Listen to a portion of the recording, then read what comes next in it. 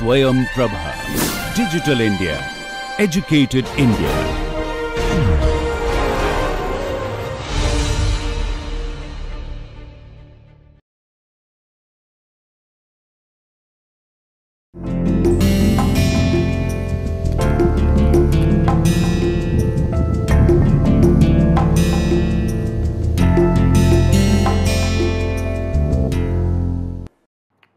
नमस्कार पाश्चात्य राजनीतिक दार्शनिकों की अध्ययन की श्रृंखला में हमने आम तौर पर पुरुष राजनीतिक दार्शनिकों पर ही ध्यान केंद्रित किया है। अगर हम प्राचीन दर्शन की बात करें तो वहाँ पर पुरुष दार्शनिकों का प्रभुत्व रहा। मध्ययुगीन दौर में या फिर प्राचीन से मध्य युग की तरफ़ आते हुए हम जिन दार्शनिकों की बात करते हैं, वहाँ भी पुरुष दार्शनिकों की ही प्रधानता रही। आधुनिक दौर में भी आ, आम तौर पर हमने पुरुष दार्शनिकों का ही अध्ययन किया है। बाद के दौर में हम मैरी क्राफ्ट के रूप में पहली आ, ऐसी महिला दार्शनिक का अध्ययन करते हैं जो कि महिलाओं के प्रश्नों पर भी विचार करती हैं। हालाँकि वोस्टन क्राफ्ट ने महिलाओं के प्रश्नों के साथ अन्य मसलों पर भी विचार किया था। और उसके बाद के दौर में हम कुछ और ऐसी नारीवादी चिंतकों पर नज़र डालेंगे आ, आगे के एपिसोड्स में। जिन्होंने कि नारीवादी मुद्दों पर अपने विचार रखने का प्रयास किया। लेकिन आज हम एक ऐसी महिला राजनीतिक चिंतक की बात करेंगे जिन्होंने राजनीति से संबंधित विविध मसलों पर अपने विचार रखे, जो खुद एक बहुत बड़ी राजनीतिक एक्टिविस्ट रहीं और जिन्होंने मार्क्सवाद के भीतर चलने वाले वाद विवाद में काफ़ी महत्वपूर्ण योगदान दिया। आज हम जिस राजनीतिक चिंतक के विचारों पर बातचीत करेंगे। उनका नाम है रोज़ा लग्जमबर्ग। रोज़ा लग्जमबर्ग इसलिए महत्वपूर्ण सिद्धांतकार हैं क्योंकि इन्होंने अलग से अ, महिलाओं के प्रश्नों पर विचार नहीं किया। एक अर्थ में हम इन्हें अ, नारीवादी चिंतक के खांचे में तो बिल्कुल ही नहीं डाल सकते हैं। कई बार तो इन्होंने नारीवादी नारीवाद संबंधी लेखन को आलोचना की निगाह से भी देखा।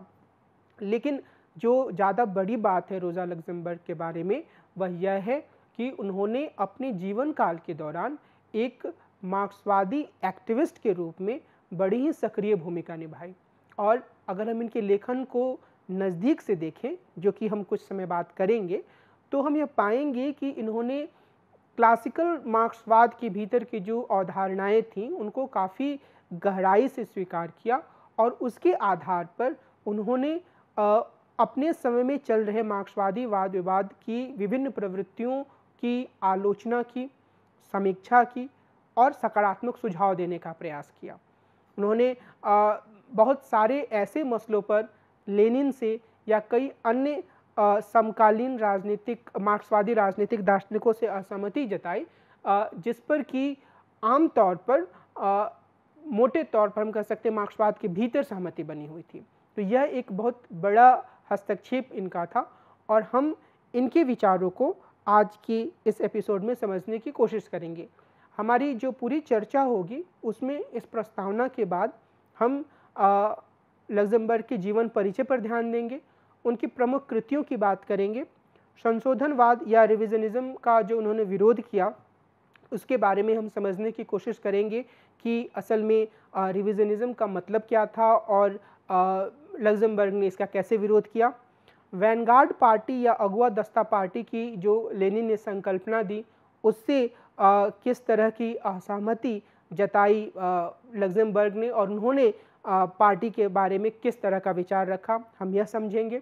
जन हड़ताल के बारे में उनके क्या विचार थे? साम्राज्यवाद के बारे में उनके क्या विचार थे? और क्रांतिकारी अंतर्राष्ट्रीयवाद को उन्होंने किस नज़रिए से देखा? हम इन पहलुओं पर भी विचार करेंगे। और हम उनके एक लेखन से आ, एक ख़ास तौर पे बहुत छोटे पैम्पलेट नुमा लेखन से समझने की कोशिश करेंगे कि वह समाजवादी समाज के स्वरूप के बारे में क्या सोचती थी। फिर हम इनकी आलोचना के कुछ बिंदुओं पर ध्यान देंगे और उसके बाद हम निष्कर्ष के रूप में अपनी आज की चर्चा को विराम देंगे। लग्जमबर्ग रोज़ा लग्जमबर्ग इनका जन्म पाँच मार्च 1871 को जेमोस्क पोलैंड में हुआ था। इनकी मृत्यु 15 जनवरी 1919 को बर्लिन में हुई। इनके माता पिता खाते पीते मध्यम वर्गीय यहूदी थे। वे यानी कि रोज़ा लग्जमबर्ग अपने माता पिता की पाँच संतानों में सबसे छोटी थीं। इनका लालन पालन वारसा में हुआ जो कि पोलैंड की राजधानी थी अभी भी है। यह एक स्वतंत्र चेतना रखने वाली बुद्धिमान लड़की थी और पढ़ाई लिखाई में भी इनका प्रदर्शन काफ़ी अच्छा था। आ, उन्होंने एक स्कूली छात्रा के रूप में रूसी पोलैंड के स्कूल के बहुत सारे पाबंदियों के खिलाफ बगावत कर दिया। अपने युवा काल से ही ये समाजवादी राजनीतिक गतिविधियों में शामिल हो गई। इस कारण अठारह सौ नवासी में गिरफ्तारी से बचने के लिए इन्हें पोलैंड छोड़कर ज्यूरिक जाना पड़ा। यहाँ इन्होंने विश्वविद्यालय में दाखिला लिया। शुरू में इन्होंने गणित और प्राकृतिक विज्ञानों का अध्ययन किया, लेकिन उसके बाद राजनीतिक, अर्थशास्त्र या पॉलिटिकल इकोनॉमी का भी अध्ययन किया। फिर लग्जमबर्ग ने पोलैंड के औद्योगिक विकास पर अपना डॉक्टरल शोध प्रबंध पूरा किया। असल में ज्योरिक विश्वविद्यालय से इन्हें कानून और दर्शन में दो डॉक्टरेट हासिल हुए। इसके साथ ही, ये रूसी साम्राज्य से आए क्रांतिकारी और प्रवासियों के राजनीतिक जीवन में भी सक्रिय थीं। विश्वविद्यालय के दिनों से ही ये समाजवादी आंदोलन से जुड़ी हुई थीं। इन्होंने प्लेखनो, अगजेलरोद और लेनिन जैसे निर्वासित रूसियों के साथ काम किया। इन्होंने पोलिस सोशलिस्ट पार्टी के राष्ट्रवाद का विरोध किया। राष्ट्रवाद के बारे में इनके विचारों को थोड़ी तफसील से हम आगे देखेंगे। अठारह सौ चौरानवे में उन्होंने लियो जोगिट्स के साथ मिलकर socialist democracy for the kingdom of Poland की स्थापना की। लियो जोगिट्स और लग्जमबर्ग के विचार एक दूसरे से काफ़ी मिलते जुलते थे। वे लग्जमबर्ग के साथ मिलकर बनाए गए संगठन के मुख्य संगठक थे। दूसरी ओर, लग्जमबर्ग इस संगठन के सबसे योग्य बुद्धिजीवी थी और इसकी आवाज़ थी। इन दोनों की दोस्ती काफ़ी गहरी थी। कुछ समय बाद व्यक्तिगत संबंधों में तनाव आ जाने के बाद भी इनका नज़दीकी राजनीतिक जुड़ाव कायम रहा। अठारह में अपने लिए ज़्यादा व्यापक राजनीतिक मंच की तलाश में रोज़ा लग्जमबर्ग, जर्मनी चली गई। वे अगले 20 वर्षों तक जर्मन साम्यवाद से जुड़ी रहीं। उन्होंने जर्मन कम्युनिस्ट पार्टी की सैद्धांतिक पत्रिका न्यायजेब में योगदान दिया। बाद में इसके संपादक काउत्सकी की सहायक भी बनी। वे केंद्रीय पार्टी की प्राथमिक स्कूल में मार्क्सवादी अर्थशास्त्र की शिक्षिका बनी। 1905 में रूसी क्रांति के समय वे सक्रिय थीं और 1905 से 1919 तक वे जर्मन मार्क्सवादी आंदोलन के चरम वामपंथ या अल्ट्रा लेफ़्ट के नेता थीं। उन्होंने प्रथम विश्व युद्ध में जर्मनी के शामिल होने का विरोध किया। बाद में जर्मनी के स्पार्टकस विद्रोह के दौरान जर्मन कम्युनिस्ट पार्टी के केंद्रीकरण का भी इन्होंने विरोध किया। पार्टी में जब इनकी हार हो गई तो उन्होंने बड़ी हिचकिचाहट के साथ एक ऐसे विद्रोह का समर्थन किया, जिसके पास न हथियार थे और न ही जन समर्थन लग्जमबर्ग ने जर्मनी छोड़ने से इनकार कर दिया। भूमिगत रहते हुए इन्होंने पार्टी को पुनर्जीवित करने का प्रयास किया, लेकिन वे पकड़ी गई। प्रशियन अफसरों ने उन्हें 15 जनवरी 1919 को कारावास ले जाते समय आ, उनकी हत्या कर दी। यूरोपीय समाजवाद के भीतर चलने वाले वाद विवाद में आ, जो रोज़ा लग्जमबर्ग थी उनकी भूमिका काफ़ी महत्वपूर्ण रही। अगर हम रोज़ा लग्जमबर्ग के जीवन के इस संक्षिप्त विवरण पर ध्यान दें तो एक बात बिल्कुल साफ़ तौर पर सामने आती है कि अपने स्कूल के दिनों के बाद से ही स्कूल में एक विद्रोही प्रवृत्ति की छात्रा थी, लेकिन यूनिवर्सिटी के समय से ही एक ऐसी युवती के रूप में, एक ऐसी महिला के रूप में ये रहीं, जिन्होंने समाजवाद की कोई खांची, एक विशेष तौर का स्वरूप देने में महत्वपूर्ण भूमिका निभाई। अगर हम रोज़ा लग्जमबर्ग के युवा होने और सक्रिय होने के दौर की तरफ़ ध्यान दें तो हम यह पाएँगे कि यह वह दौर था जब कार्ल मार्क्स इस दुनिया से जा चुके थे। फ्रेडरिक एंगल्स ने मार्क्सवाद को एक खास तरह का स्वरूप दिया और बाद में विशेष रूप से रूस में प्लेखनो और लेलिन जैसे लोगों ने मार्क्सवाद को एक एक को एक ढांचे में तब्दील करने या एक ऐसे विचार में तब्दील करने का प्रयास किया, जिसके माध्यम से सोवियत रूस, जो कि उस समय रूस था, कि पूरे समाज में परिवर्तन लाया जा सके, महाक्रांति की जा सके। तो यह वह दौर था जहाँ मार्क्सवाद को लेकर अलग अलग समाजों में विभिन्न युवाओं के बीच में एक उत्साह था और उसे एक खास तरीके से प्रयोग करने, उसके विभिन्न अस्पष्ट पहलुओं को ज़्यादा साफ़ गोई से समझने की कोशिश हो रही थी। और उसमें जो सोवियत यूनियन जो बाद में बना, जो उस समय रूस था, उसके क्रांतिकारियों ने महत्वपूर्ण भूमिका निभाई और उसी पूरे वाद विवाद में जो लग्जमबर्ग थी, वह भी शामिल रही और उन्होंने कई स्तरों पर अपने विचारों को रखा कई बार हम अब, अगर अभी उनके विचारों को समझे तो ऐसा लगता है कि उनकी आलोचनाएँ और उनके विचार ज़्यादा प्रभावकारी थे। तो इस लिहाज से ये एक ऐसी चिंतक के रूप में सामने आती हैं, जिन्होंने जीवन भर लेखन किया और मार्क्सवाद से संबंधित विभिन्न पहलुओं पर उन्होंने अपनी बातें रखी। उन्होंने कई पुस्तकें लिखी। इनकी कुछ पुस्तकों की पे हम यहाँ पर एक सूची के रूप में बात करेंगे। लेकिन कई ऐसी अन्य पुस्तकें भी हैं जो इस सूची का भी हिस्सा नहीं है। उन्होंने कई निबंध लिखे, कई लेख लिखे, अखबारों में लेखन किया और इन सब तरह के लेखन के माध्यम से उन्होंने लगातार समाजवाद और यानी कि मार्क्सवादी चिंतन और मार्क्सवाद के आधार पर बने समाजवादी विचार की रूपरेखा को मजबूती देने का प्रयास किया और यह कोशिश की कि ज़्यादा बेहतर तरीके से क्रांति की तरफ़ आगे बढ़ा जाए। अगर हम इनकी प्रमुख कृतियों की बात करें तो उसमें सोशल रिफॉर्म और रेवोल्यूशन, जो कि अठारह सौ निन्यानवे में प्रकाशित हुआ, एक महत्वपूर्ण कृति है। इसके अलावा उन्होंने 1904 में organisational questions of Russian social democracy लिखा।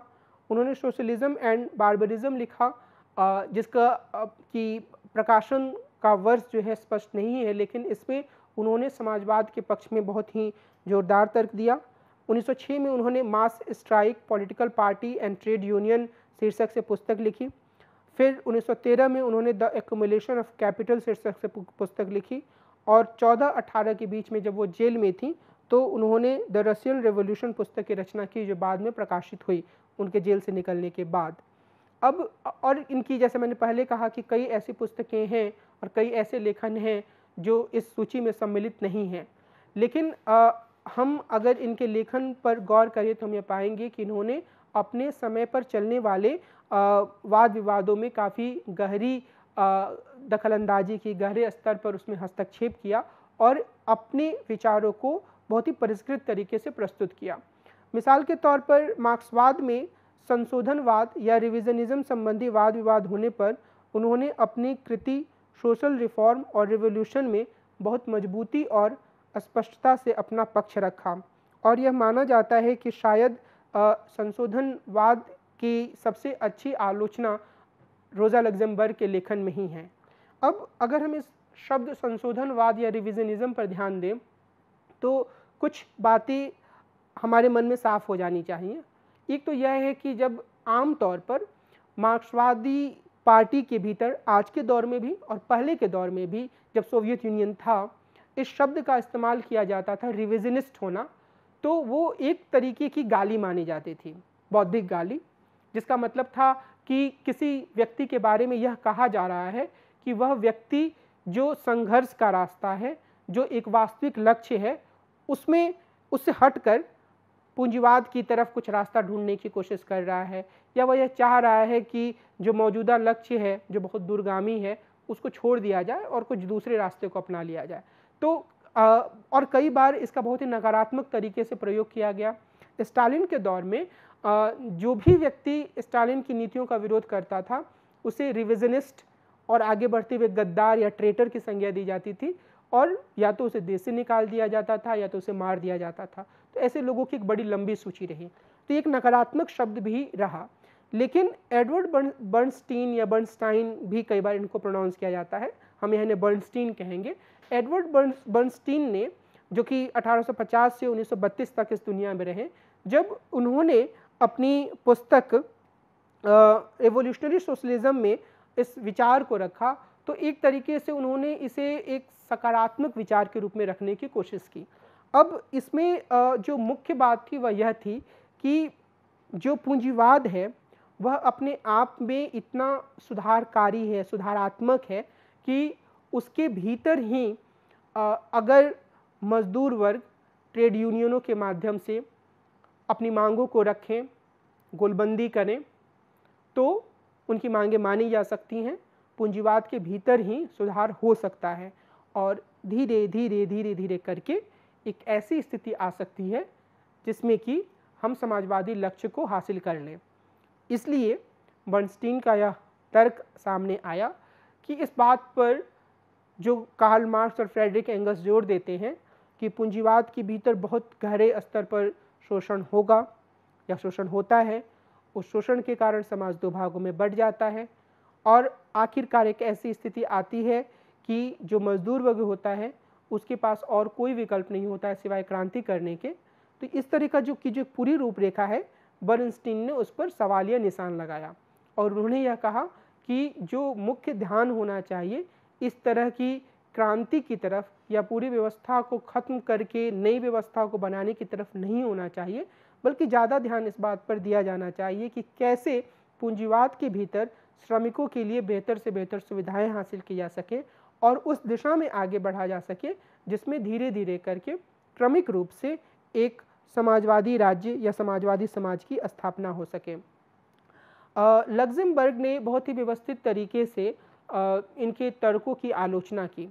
उन्होंने कहा कि यह सच है कि पूंजीवाद टिका हुआ है, लेकिन उन्होंने कहा कि इसके संकट और अंतर विरोध खत्म नहीं हुए हैं। इसके भीतर एक तरह का अपना एक कॉन्ट्रडिक्शन बन रहा है। और अगर बर्नस्टीन की तरह तर्क दिया जाए तो एक तरीके से मार्क्सवाद का मूल तत्व ही खत्म हो जाएगा। क्योंकि अगर, जैसा कि बर्नस्टीन कहते हैं पूंजीवाद के भीतर अपने विरोधाभासों को समायोजित करने की क्षमता है।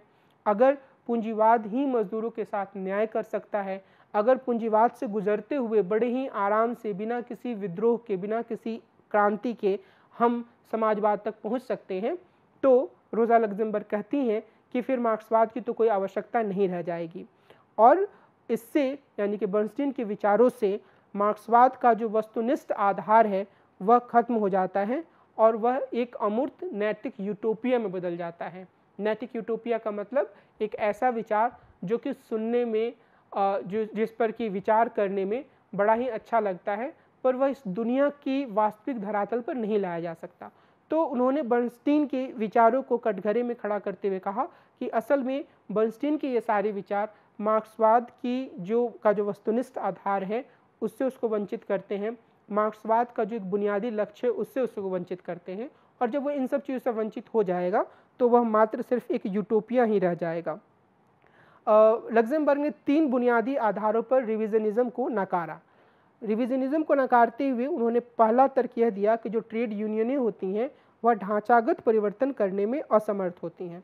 और आप इस बात को याद रख सकते हैं, क्योंकि पीछे हमने इसकी चर्चा की है कि कार्ल मार्क्स फ्रेडरिक एंगल्स और लेनिन सबने ट्रेड यूनियनों की भूमिका की आलोचना की। विशेष रूप से लेनिन ने और बाद में ग्रामसी ने भी इस बात पर ज़ोर दिया कि ट्रेड यूनियनों से हम कोई किसी गहरे बदलाव की उम्मीद नहीं कर सकते हैं, क्योंकि ये जो ट्रेड यूनियन होते हैं, वो अपने छोटे छोटे लक्ष्यों पर ही ज़्यादातर ध्यान देते हैं।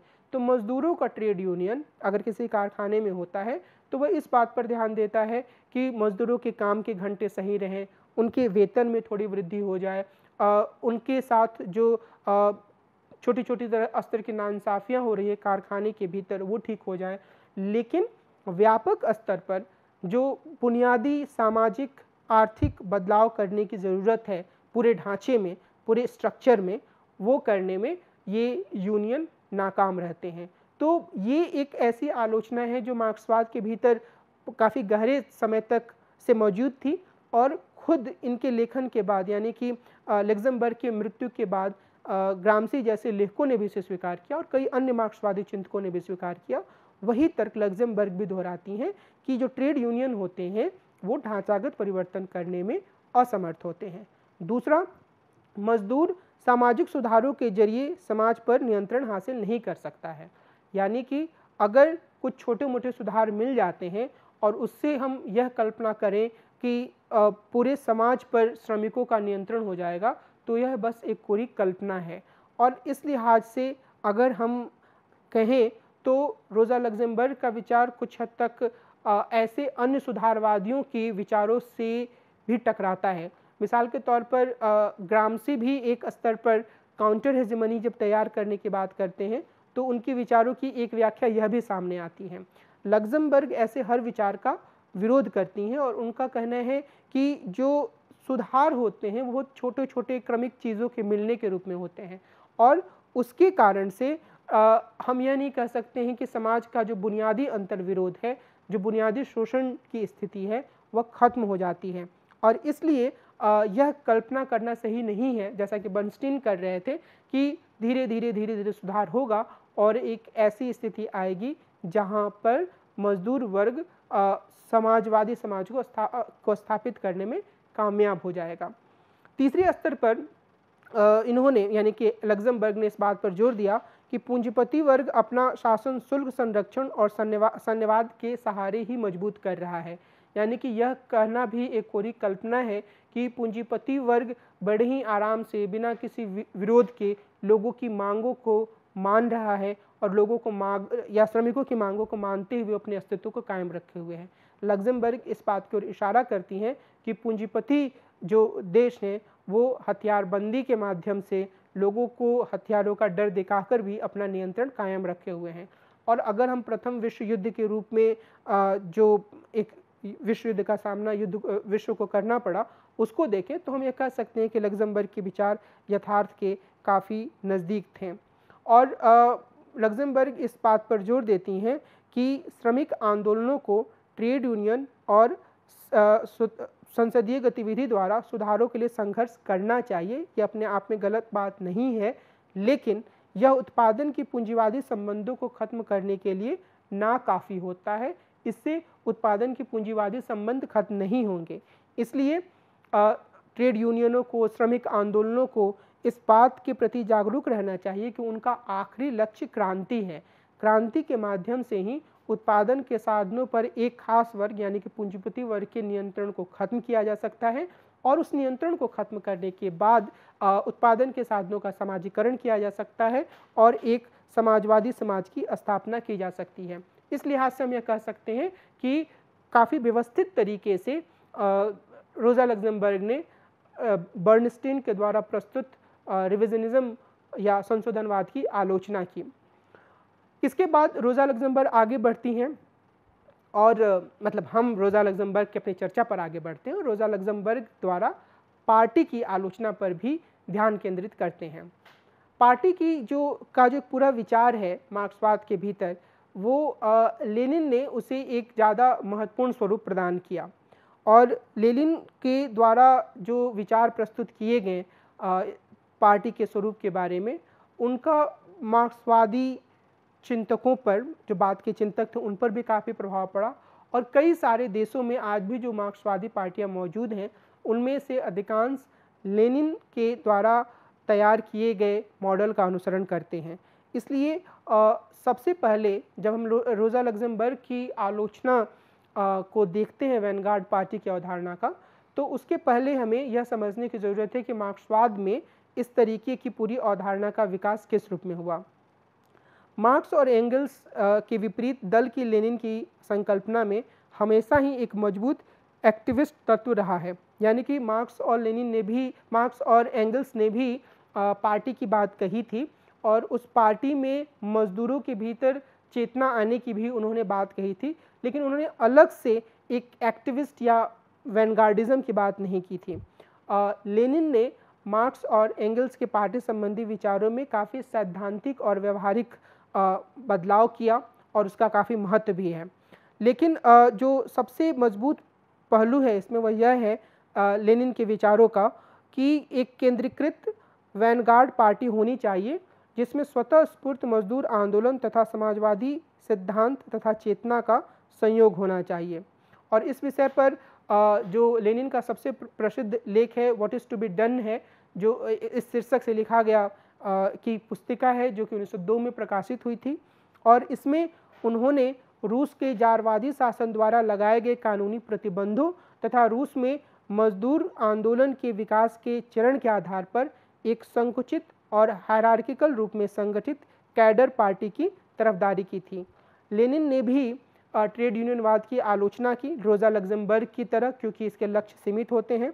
और उन्होंने ट्रेड यूनियन चेतना और सामाजिक लोकतांत्रिक चेतना के बीच में अंतर किया। और उन्होंने यह कहा कि मजदूर ट्रेड यूनियन चेतना को स्वतः स्फूर्त यानी कि स्पॉन्टेनियस तरीके से हासिल कर लेते हैं। लेकिन यह पार्टी का काम है कि वह मजदूरों के भीतर सामाजिक लोकतांत्रिक चेतना का विकास करे।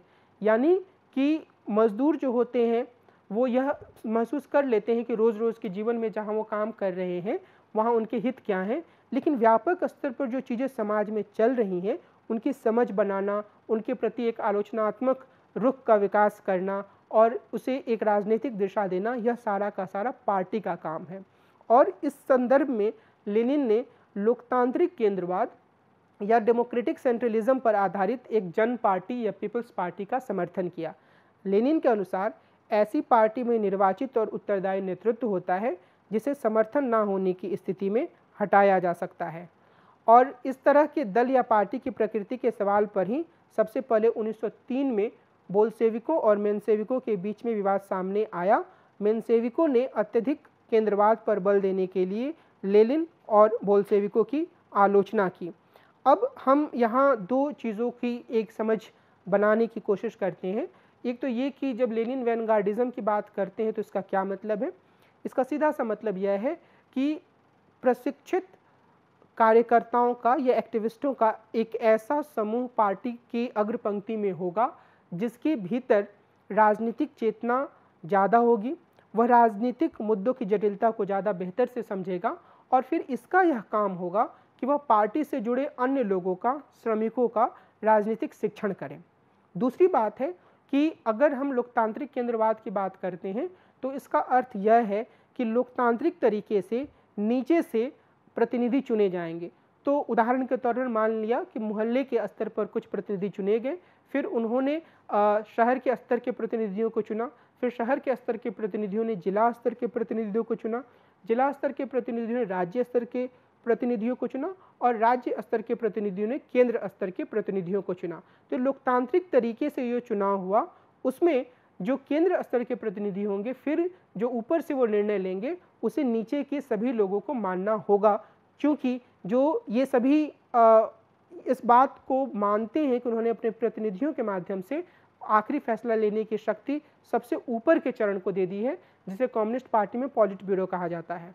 तो इस लिहाज से लोकतांत्रिक केंद्रवाद एक अनुशासनबद्ध पार्टी की अवधारणा को प्रस्तुत करती है। तो लेनिन का जो यह पूरा विचार था, रोज़ा लग्जमबर्ग ने इसकी आलोचना की। 1904 में लग्जमबर्ग ने organisational questions of Russian social democracy शीर्षक से किताब लिखी। इसके द्वारा उन्होंने लेनिन और मेनसेविक्स के बीच चलने वाले वाद विवाद में हस्तक्षेप किया। उन्होंने एक सख्त अनुशासनित वैनगार्ड पार्टी या अगुआ दस्ता पार्टी की संकल्पना देने के लिए लेनिन की आलोचना की। लग्जमबर्ग का यह मानना है कि लेनिन जिस तरीके से पार्टी के बारे में अपने विचारों को प्रस्तुत कर रहे हैं, असल में वह श्रमिक वर्ग को संरक्षण में रखने वाला विचार है। और अपनी इस पुस्तक में उन्होंने जो बातें लिखी, वे बाद की किताबों में भी उनकी, उनके विचारों की विशेषता बनी रही। उन्होंने मजदूरों के स्वतंत्र पहल और आत्मगतिविधि अपने अनुभवों और गलतियों से सीखने की उनकी क्षमता पर ज़ोर दिया। वे मानती थी कि इन्हीं बुनियादी बातों के अनुसार काम करने वाले एक ज़्यादा व्यापक आधार वाले लोकतांत्रिक संगठन की आवश्यकता है। इस लिहाज से हम यह कह सकते हैं कि जो एक बुनियादी विचारधारा लग्जमबर्ग ने पार्टी की प्रस्तुत की, वह काफ़ी हद तक खुद मार्क्स और एंगल्स के द्वारा प्रस्तुत विचारों के करीब थी। यानी कि वो ट्रेड यूनियनवाद की सीमाओं को रेखांकित करती हैं। लेकिन इसके बाद जब वो पार्टी के विचार को प्रस्तुत करती हैं तो उनका यह मानना है कि बजाय इसके कि कुछ ऐसे प्रशिक्षित लोग हों जो बाकी लोगों को राजनीतिक रूप से प्रशिक्षित करें, उससे ज़्यादा बेहतर यह होगा कि खुद लोग अपने, यानी कि श्रमिक अपने जीवन की परिस्थितियों के बारे में विचार विमर्श करें उनकी समझ कायम करें और उस समझ के आधार पर वे अपनी पार्टी की नीतियों में एक तरह का हस्तक्षेप करें। तो आ, वो इस बात के सख्त खिलाफ है कि कुछ लोग जो हैं वो वैनगार्ड की भूमिका रहे, में रहें क्योंकि उनका यह मानना है कि यह वैनगार्डिज़म जो है वह असल में श्रमिकों पर नियंत्रण का एक रूप हो सकता है। और इसके माध्यम से जो श्रमिकों की स्वतंत्र चेतना है, उसका विकास नहीं होगा, बल्कि होगा यह कि खास तरीके के सोच रखने वाले जो लोग वैनगार्ड के रूप में हैं, वही लोग बाकी श्रमिकों को एक खास स्वरूप में ढालेंगे। और अगर हम बाद की गतिविधियों को देखें, बाद के डेवलपमेंट्स को देखें, और हम यह ध्यान दें कि सोवियत यूनियन की कम्युनिस्ट पार्टी का क्या हाल हुआ तो हम यह पाएँगे कि लग्जमबर्ग की जो ये बहुत ही बुनियादी आलोचना थी जहाँ पर उन्होंने श्रमिकों की चेतना के स्वतः स्फूर्त आपसी संवाद से विकास आपसी समझ से विकास पर ज़ोर दिया था वह एक मज़बूत आलोचना बनकर सामने आती है उस कम्युनिस्ट पार्टी की जो बाद में विकसित हुई। वो कैसे हुआ? हम सब इस बात के की जानकारी हम सबको होगी ऐसे मुझे उम्मीद है आ, कि स्टालिन के दौर में और कुछ हद तक लेनिन के दौर में भी एक ऐसी स्थिति बनी communist party of Soviet Union के भीतर, जहाँ असहमति की हर आवाज़ को दबाने की कोशिश की गई और जो मुख्य, जिसे पार्टी लाइन कहा गया, उसे पॉलिट ब्यूरो के द्वारा ऊपरी स्तर पर तय कर दिया जाता था और बाकी लोगों को डेमोक्रेटिक सेंट्रलिज्म के सिद्धांत के अनुसार उन, उस सारी समझ को स्वीकार करना था और इससे एक ऐसी स्थिति बनी जिससे कि पार्टी पर कुछ लोगों का और आखिरकार एक व्यक्ति का नियंत्रण हो गया और बाकी सारे के सारे जो श्रमिक वर्ग के लोग थे, वो उसके अनुपालक बन गए।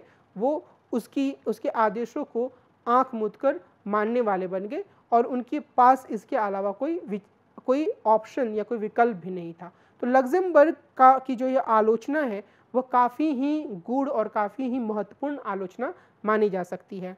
और इन्हीं वर्षों के दौरान जब उन्होंने लेनिन की पार्टी संबंधी विचारों की आलोचना की तो उनकी कई अन्य मुद्दों पर भी लेनिन से असहमति हुई।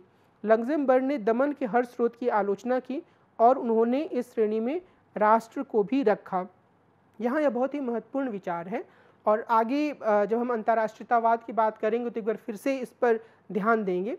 लेकिन जो मुख्य बात है वह यह कि लग्जमबर्ग यह मानती थी कि समाज में जो शोषण के कई आधार हैं और यानी कि उसमें सबसे बुनियादी आधार आर्थिक आधार है लेकिन अन्य कई ऐसे विचार के रूप में ढांचे खड़े किए गए हैं, जो इस तरह के शोषण को बहता देते हैं या वो खुद शोषण का स्रोत हैं।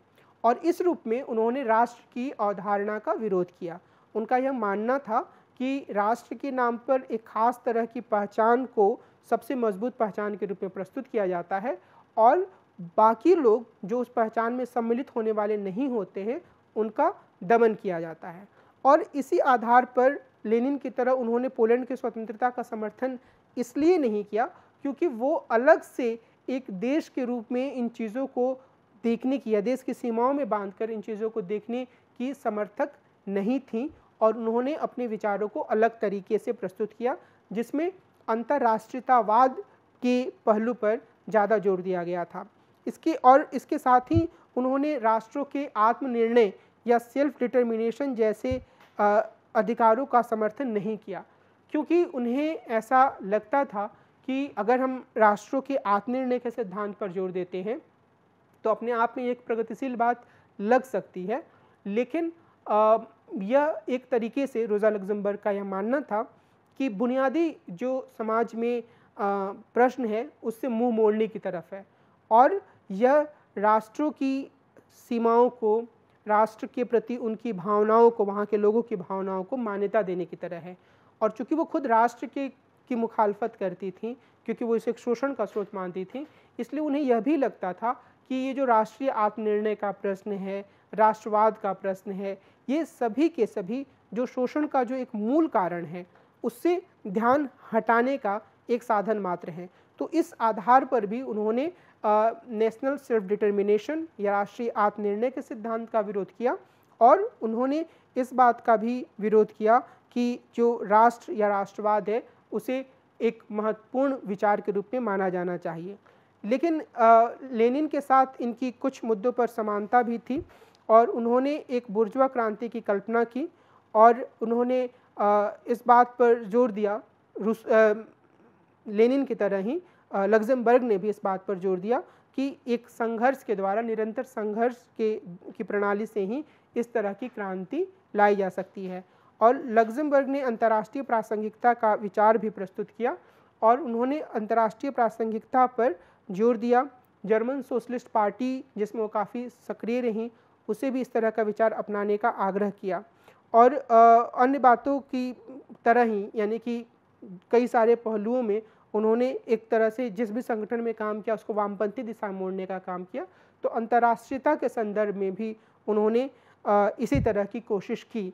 इस बिंदु पर हम आगे और साफ़ तरीके से सामने आने की कोशिश करेंगे। पर मोटे तौर पर यहाँ हम इस समझ को बनाने की कोशिश करते हैं, या इस समझ को कायम करने की कोशिश कर रहे हैं कि जिस तरीके से मार्क्स ने दुनिया के मजदूरों के एक होने का आह्वान किया, यह वो विचार था जो कि लग्जमबर्ग के लिए एक प्रेरक विचार के रूप में था। इसलिए वो राष्ट्र, राष्ट्रीय आत्मनिर्णय जैसे प्रश्नों को एक तरीके से जो शोषण चल रहा है, उसको छिपाने वाला या एक नए तरह के शोषण को स्थापित करने वाला भी मानती थी और इसके आधार पर उन्होंने इसका समर्थन नहीं किया। दूसरे, जन हड़ताल के बारे में भी यानी कि मास स्ट्राइक के बारे में भी उनके विचार काफ़ी महत्वपूर्ण हैं। अपनी किताब Marx, mass strike, political party and trade union में उन्होंने यह प्रस्तावित किया कि जन हड़ताल या मास स्ट्राइक सर्वहारा क्रांति की तरह ही श्रेष्ठ है। यह आम जनता की सृजनात्मक शक्तियों की स्वतः स्फूर्त अभिव्यक्ति होती है और नौकरशाही की जड़ता इससे खत्म होती है। इस संदर्भ में जब वो स्वतः स्फूर्त अभिव्यक्ति की बात कर रही हैं आम जनता की सृजनात्मक शक्तियों की तो यहाँ पर फिर से हम पार्टी से संबंधित उनके विचारों को देख सकते हैं। उनका भरोसा था कि जो लोग हैं, जो आम जनता है, जो आम श्रमिक वर्ग है, वह ऐसा नहीं है कि वह अपने जीवन की जटिलताओं को नहीं समझ सकता है। वह यह नहीं समझ सकता है कि समाज में किसके द्वारा शोषण किया जा रहा है और उस शोषण से बचने के लिए उसे संघर्ष की आवश्यकता है। इसलिए और इसी आधार पर वह वैनगार्ड पार्टी का विरोध करती हैं और इसी आधार पर वह जन हड़ताल या मास स्ट्राइक की अवधारणा प्रस्तुत करती हैं।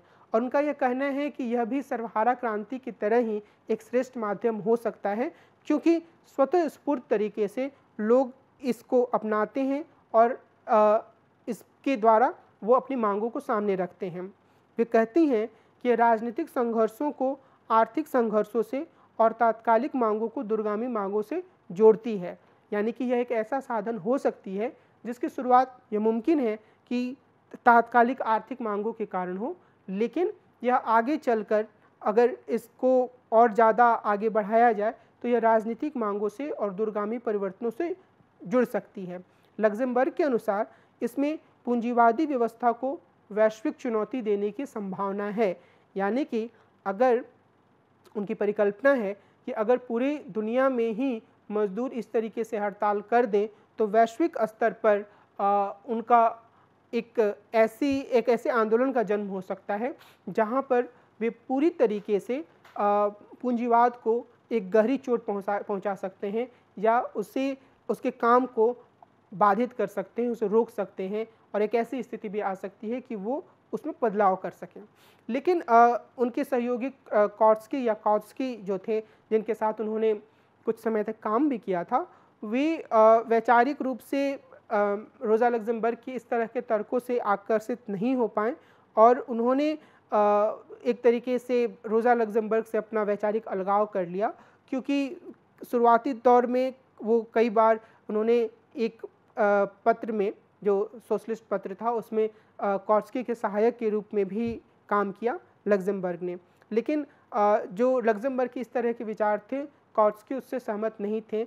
क्योंकि लेनिन की तरह ही उनका यह मानना था कि पार्टी नेतृत्व के लिए सावधानी से तैयार की गई चुनाव संबंधी नीति जो थी, यानी कि पार्टी नेतृत्व बहुत ही स्थितियों को समझे और उन स्थितियों को समझते हुए रणनीति तैयार करे, इस पर कॉस्की का ज़ोर था और जो रोज़ा लग्जमबर्ग थी, वह आम जनता की चेतना को ज़्यादा महत्वपूर्ण मानती थी।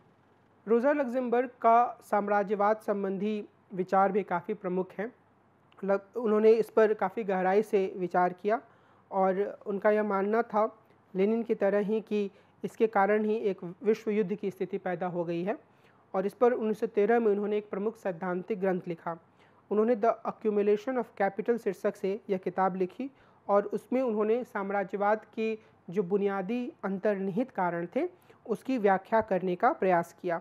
लग्जमबर्ग ने यह तर्क दिया कि यदि किसी बंद पूंजीवादी अर्थव्यवस्था की गैर पूंजीवादी सामाजिक संगठनों तक पहुँच ना हो तो वह निश्चित रूप से विखंडित हो जाएगी। इसका कारण यह है कि वह अपने द्वारा उत्पन्न सारे अतिरिक्त मूल्य को समाहित नहीं कर पाएगी। मोटे तौर पर उनका यह मानना था कि पूंजीवाद लगातार विस्तार करने या खंडित हो जाने या खत्म हो जाने के विकल्प के रूप, के विकल्पों के बीच में झूलता रहता है।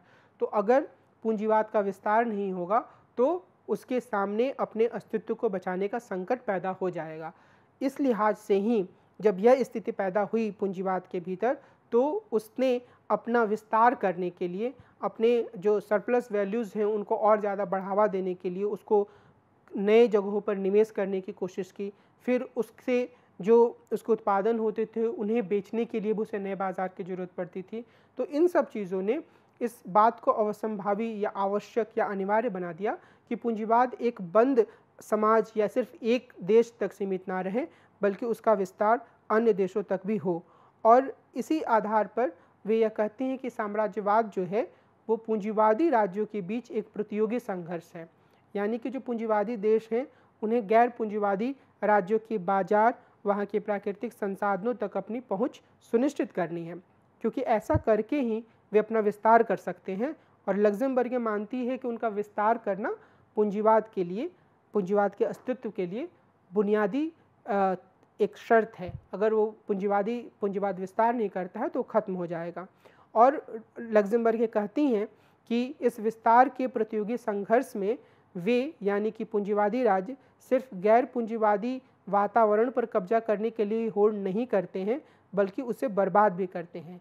बर्बाद इस अर्थ में कि वे उसके प्राकृतिक संसाधनों का बहुत ज़्यादा दोहन करते हैं और इस अर्थ में भी कि वे वहाँ के लोगों की जीवन शैली को अपने तरह की वस्तुओं से भर देते हैं तो एक तरीके से उस गैर पूंजीवादी समाज बर्बादी के कगार पर पहुँच जाता है। और वे यह भी मानती हैं कि इससे पूंजीवादी संबंधों में सार्वभौमिक प्रभुत्व बढ़ता है और इससे इसके विघटन को अनिवार्य बना देता है। और एक तरीके से अगर हम रोज़ा लग्जमबर्ग की पूरी थीसिस पर ध्यान दें जहाँ पर वो पूंजीवाद को एक देश तक सीमित परिघटना नहीं मानती हैं तो उनके लिए अपने आप में यह क्रांति के कदम की ओर बढ़ने जैसा है। यानी कि अगर पूंजीवाद साम्राज्यवाद के माध्यम से एक पूंजीवादी देश से बाहर निकलकर अन्य देशों में जाता है तो ऐसी स्थिति में जो आ, अन्य देश हैं वो भी पूंजीवाद के शोषण के दायरे में आते हैं और जो एक श्रमिक वर्ग और पूंजीपति वर्ग के बीच का तनाव है, वो वैश्विक स्तर पर बढ़ता है। और वो यह मानती हैं कि इससे पूंजीवाद के विघटन की भी संभावनाएँ बनती हैं।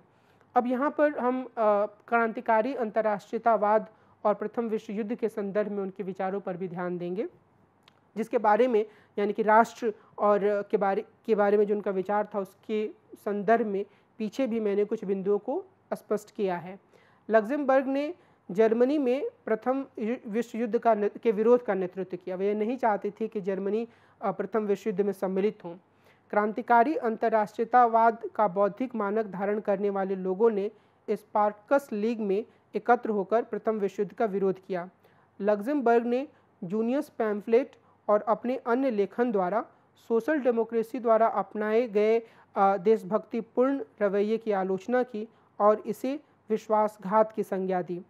और यानी कि वो ये नहीं चाह उनका ये मानना नहीं था कि देशभक्ति के नाम पर, देश के हित के नाम पर जर्मनी भी प्रथम विश्व युद्ध में शामिल हो जाए। क्योंकि वो यह मानती थी कि इस तरीके की युद्ध में देश, देशभक्ति जैसी कोई चीज़ मायने नहीं रखती है। जो चीज़ मायने रखती है वह यह कि पूंजीपतियों का हित किसमें सत्ता है। और पूंजीपतियों का हित विश्व युद्ध की तरफ़ आगे बढ़ रहा था। तो इसी कारण से उनका यह मानना था कि आ, इस युद्ध में शामिल होने की का जो सरकार की जो सरकार फैसला कर रही है वह गलत है। और युद्ध के दौरान वे अधिकांश समय रोज़ा लग्जमबर्ग अधिकांश समय जेल में रहीं और उन्होंने जेल के भीतर ही द रशियन रिवोल्यूशन शीर्षक से किताब लिखी। इसमें उन्होंने लेनिन ट्रॉट्सकी और बेल्सोइको के प्रति अपनी एकजुटता अभिव्यक्त की और समाजवादी क्रांति लाने की उनकी कोशिशों के प्रति समर्थन व्यक्त किया। लेकिन इसके बावजूद वे उनकी भूमि संबंधी और राष्ट्रवादी नीति से असंतुष्ट रहीं। भूमि संबंधी नीति का जो मुख्य तात्पर्य है वो यह कि जिस तरीके की परिकल्पना मार्क्सवाद के भीतर भूमि संबंधों को लेकर की गई थी, उस तरह की परिकल्पना शुरुआती स्तर पर लागू करने के लिए लेनिन तैयार नहीं थे।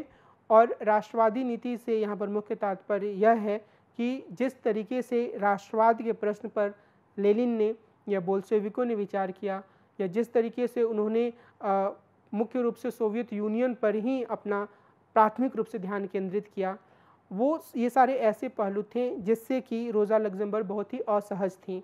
और उनका यह मानना था कि जो राष्ट्रवादी नीति है, वह मार्क्सवादी विचार के अनुरूप नहीं है, बल्कि यह मार्क्सवादी विचार से उल्टी दिशा में जाने की बात है। और वे यह मानती थीं सबसे बढ़कर कि जो समाजवादी लोकतंत्र में कटौती हुई है क्रांति के बाद के दौर में सोवियत यूनियन में वह भी सही नहीं है। और आ, उन्हें सबसे ज़्यादा निराशा इस बात से हुई थी कि बोल्सेविक पार्टी के या communist party of Soviet Union के नेताओं ने जिसमें लेनिन भी शामिल थे इसे एक वर्च्यू के रूप में या सद्गुण के रूप में पेश करना शुरू कर दिया था। सद्गुण इस रूप में कि उन्हें यह लगता था कि इसके माध्यम से वे बहुत ही बेहतर तरीके से या ज़्यादा अच्छे तरीके से अपनी पार्टी को संगठित कर रहे हैं और अनुशासनबद्ध तरीके से एक लक्ष्य की ओर आगे बढ़ रहे हैं।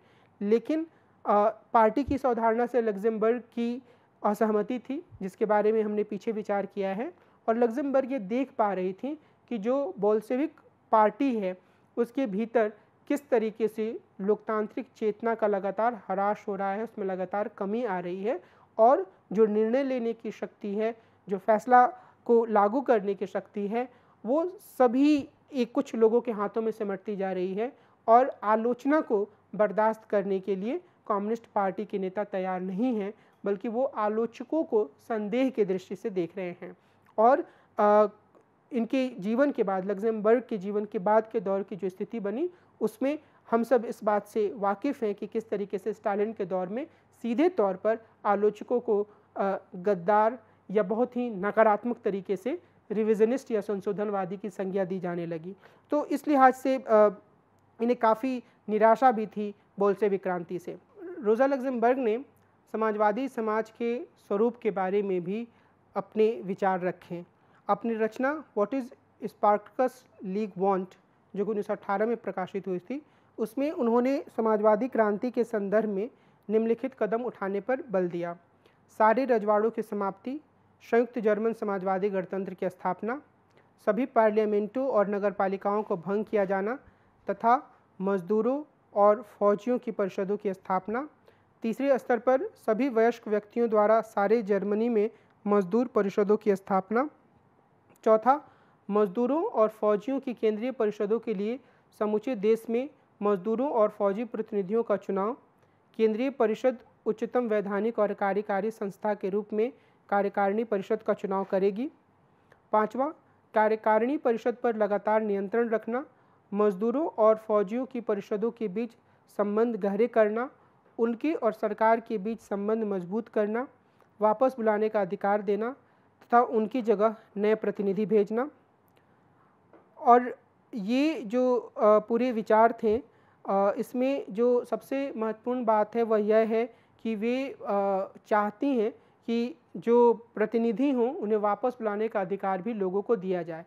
एक स्तर पर हम यह कह सकते हैं कि जिस तरीके से लेनिन ने पूरी व्यवस्था को संगठित करने के लिए एक मॉडल दिया था, वैसी ही कुछ व्यवस्था यह लग्जमबर्ग के द्वारा भी दी जा रही है। लेकिन लग्जमबर्ग इस बात को लेकर काफ़ी सजग हैं कि लोगों के पास अपने प्रतिनिधियों को वापस बुलाने का भी अधिकार हो और लोगों की जो ये प्रतिनिधि हैं या खुद जो लोग हैं, उनके बीच में संवाद हमेशा रहे, बजाय इसके कि ऊपर से कुछ निर्णय लिया जाए और वह नीचे फेंक दिया जाए कि चलो अब इसको हर किसी को मानना है।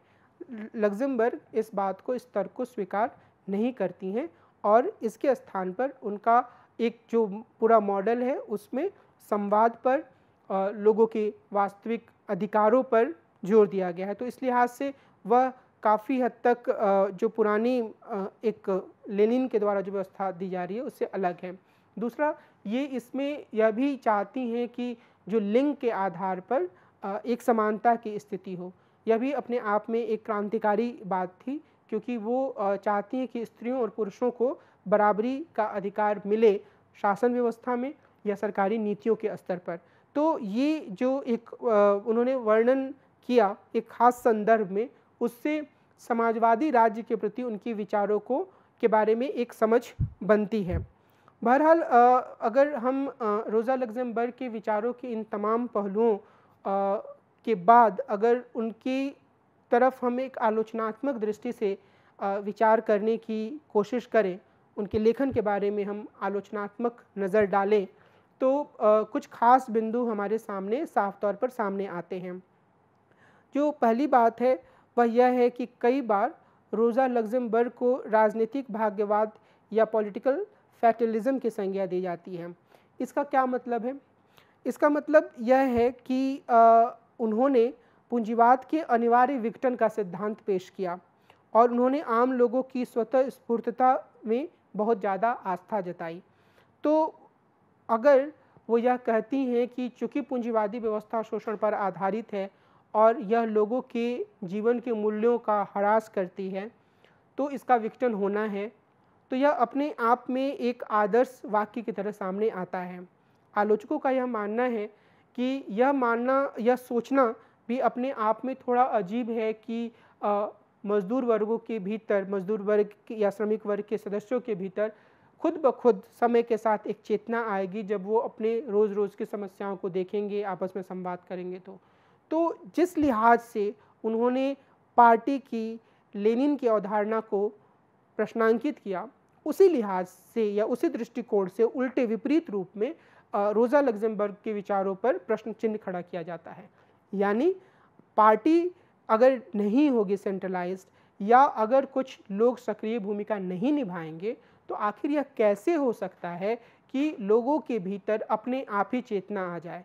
यह तो एक तरीके से भाग्य में विश्वास करने की तरह हो गया कि कोई एक ऐसा समय आएगा जहाँ पर लोग खुद ब खुद अपनी समस्याओं के बारे में जागरूक हो जाएँगे, खुद को गोलबंद करेंगे, जन हड़ताल करेंगे, अंतर्राष्ट्रीय स्तर पर एकजुट होकर इन सारी चीज़ों के खिलाफ बगावत करेंगे। तो यह जो एक पॉलिटिकल फैटलिज्म की इनकी अवधारणा है, कि, के संदर्भ में इनकी अवधारणा है, राजनीतिक भाग्यवाद पर विचार करने के आधार पर जो लग्जमबर्ग की आलोचना की जाती है, वह काफ़ी महत्वपूर्ण है। दूसरा इन्होंने नारीवादी मूल्यों पर ज़ोर नहीं दिया, बल्कि इनकी इन्हें नारीवादी मूल्यों से या नारीवाद के प्रति, यानी कि स्त्रियों के अधिकारों के प्रति विशेष जागरूकता से एक तरह की एक तरह का परहेज भी था। और ये अपने व्यक्तिगत जीवन में तुलनात्मक रूप से कंजर्वेटिव या रूढ़िवादी मानी जाती थी। पुरातन या पहले की जो परंपराएँ थीं, उनसे इनका कुछ हद तक जुड़ाव था या व्यक्तिगत जीवन में भी इस तरीके के आचार व्यवहार का पालन करती थी। तो इन्होंने अलग से स्त्रियों के अधिकारों के मुद्दों पर ना तो गहराई से बातचीत की, ना उन मुद्दों पर गहराई से बात करने वालों की तरफ़ ये विशेष रूप से आकर्षित हुई। निश्चित रूप से इन्होंने जो एक समाजवादी व्यवस्था का स्वरूप प्रस्तुत किया, उसमें स्त्रियों को भी पुरुषों के बराबर अधिकार देने की बात कही, जो अपने आप में एक अच्छा कदम माना जा सकता है। लेकिन कभी भी इन्होंने अपने लेखन में पुरुष और स्त्री के बीच में असमानता के प्रश्न पर विचार नहीं किया और ना ही इन्होंने उन उस तरह के लेखन की बहुत तरफदारी की, जिसमें इन सारे पहलुओं पर विचार किया जाता था। तीसरे स्तर पर हम यह कह सकते हैं कि राष्ट्रवाद की जो आलोचना प्रस्तुत की गई लग्जमबर्ग के द्वारा, उसमें कुछ हद तक सच्चाई है। कई मामलों में जो राष्ट्र का विचार होता है, वह भी शोषण का एक साधन बन जाता है। हम अपने वर्तमान दौर के परिवेश में भी इसको देख सकते हैं, जहाँ पर राष्ट्रवाद के नाम पर कई सारे महत्वपूर्ण मुद्दों को पीछे ढकेलने का काम किया जाता है कि जो प्रमुख मुद्दा है वो राष्ट्र है, राष्ट्रवाद है तो इस लिहाज से इनकी आलोचना कुछ हद तक सही है।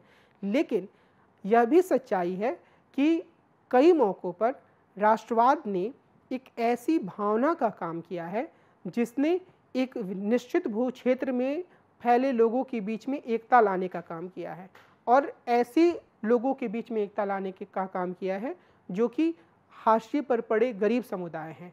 और इसके माध्यम से, राष्ट्रवाद के माध्यम से कई बार आर्थिक मुक्ति के सवाल भी सामने आए हैं। कई बार उपनिवेशीकरण के खिलाफ बगावत की स्थिति या विद्रोह की स्थिति या संघर्ष की स्थिति भी पैदा हुई है। और इस संदर्भ में अगर हम ज़्यादा दूर ना जाना चाहें तो हम अपने देश यानी हिंदुस्तान के आज़ादी के संघर्ष को ही देख सकते हैं, जिसमें राष्ट्रवाद के विचार ने लोगों को आपस में जोड़ने में बड़ी ही महत्वपूर्ण भूमिका निभाई। इस लिहाज से यह कहा जा सकता है कि राष्ट्रवाद की को पूरी तरीके से खारिज करने का जो रोज़ा लग्जमबर्ग का विचार था, वह सही नहीं था। तीसरे स्तर पर राष्ट्रवाद से आगे बढ़ते हुए जब वो अंतर्राष्ट्रीयतावाद को एक आदर्श के रूप में प्रस्तुत करती हैं और उन्हें यह लगता है कि एक ऐसी स्थिति आ सकती है जहाँ पूरे विश्व के मजदूर जन हड़ताल करेंगे, जन हड़ताल करते हुए पूंजीवाद को ठप कर देंगे और पूंजीवाद से आगे की एक व्यवस्था की ओर बढ़ जाएँगे। तो यह अपने आप में एक यूटोपियाई ख्याल लगता है। यूटोपियाई ख्याल इसलिए क्योंकि दुनिया के तमाम देशों में और देशों के भीतर भी कई तरह की विविधताएँ हैं।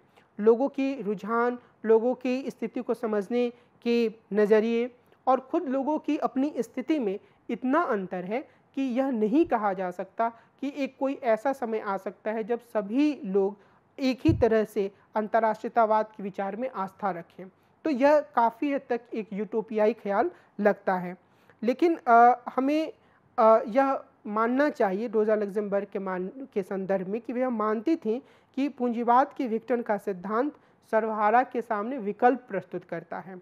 एक और यह प्रतिक्रिया युद्ध और आखिरकार बर्बादी और बर्बरता के बारे में बताता है और दूसरी ओर कहता है कि समाजवाद का रास्ता है। तो इस लिहाज से वो कहती हैं कि मानवता के सामने यही दो विकल्प है। या तो वो समाजवाद की ओर आगे बढ़े, या फिर वो संकट, प्रतिक्रिया, युद्ध और बर्बादी के रास्ते पर आगे बढ़े। इसलिए वे यह कहती हैं, रोज़ा लग्जमबर्ग कि समाजवाद के लिए संघर्ष आवश्यक है और इसे तत्काल शुरू किए जाने की आवश्यकता है। इस संघर्ष का सत्व या इसेंस श्रमिक वर्ग की स्वतः स्फूर्तता और आत्ममुक्ति की कोशिशें हैं। लग्जमबर्ग एक क्रांतिकारी मार्क्सवाद के रूप में लोकतंत्र और स्वतंत्रता के प्रति पूरी तरह वचनबद्ध रहीं और उन्होंने इस संदर्भ में लेनिन की बोल्सेविक पार्टी की भी काफ़ी आलोचना की। इसलिए जब हम उनकी आलोचनाएँ करते हैं तो हमें इस पहलू पर ख़ास तौर पर ध्यान देना चाहिए। दूसरा, जो उनकी आलोचनाएँ थीं, उन्हें हम उदारवाद, सुधारवाद या अराजकतावाद की संज्ञा नहीं दे सकते हैं।